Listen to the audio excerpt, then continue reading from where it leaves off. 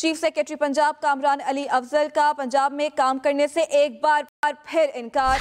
विफाकी establishment division को मजीद 130 रोज छुट्टी की दरख्वास्त दे दी। कामरान अली अफजल की एक माह की छुट्टी 6 दिसंबर को मुकम्मल हो रही है। मैं ऑस्ट्रेलिया जाना चाहता हूँ। मेरी दरख्वास्त फौरी मंजूर की जाए।